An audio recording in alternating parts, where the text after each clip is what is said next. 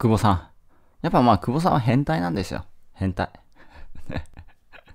まあ、すべてに内から出るものがある。無敵ですね。僕はね、やっぱね、久保哲郎までまだ行ってないので、ダメですね。まだ。まだちょっと修行が必要かなと思いますけどね。うーん。だからまあでも、あの、究極行くと多分久保さんになると思いますけどね。究極行ってしまうと。うーん。まあ、多分ね、うーん、な僕ね、こういう言葉が好きなんですけど、すべてが、なんか僕、なんだ、生体行った時かな？なんか生体行った時に、まあ、この丸があって、こう、ここに丸にこう入れるじゃないですか。頭を、あの、顔を。丸があって、こう寝るところ。で、その、覗いたら色紙が置いてあるんですよ。そこの生体がね。で、その生体の色紙に何が書いてあったかっていうと、あ、全部必要だったんだ。あ、あ、あ、全部必要だったんだっていうのが書いてあって、これ多分億万長者合宿でもちょっとシェアしたような気がするんですけど、すごくいい言葉だなと思ったんですね。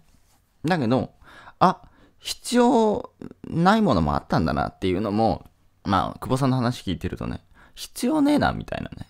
うん、それも必要なんじゃないかなっていうあ、必要じゃないものもあったんだなっていうことを気づくことも必要だったっていう。あ結局すべて必要わかんないけどうん。まあ、あの、ビジネスやってて、僕はもう鼻、鼻くそごとく、鼻くそじゃないな。鬼のごとく会社で言われたのが、結果が全てだと。とにかく結果を出せと。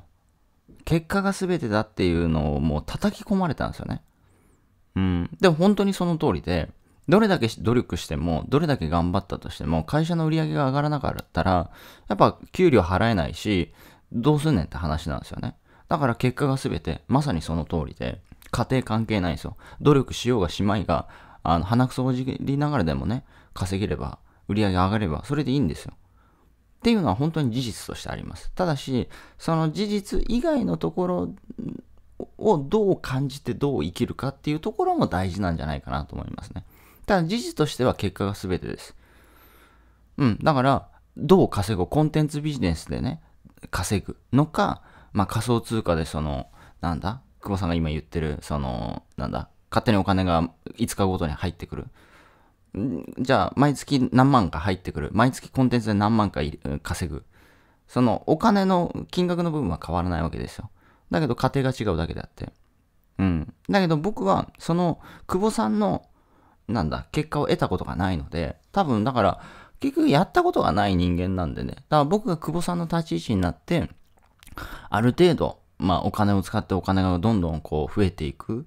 で、その、なんだ、あもう別にいいんじゃねみたいになった場合に僕がどういう風な考え方になるのかわからないですね。多分今の考え方っていうのは、あ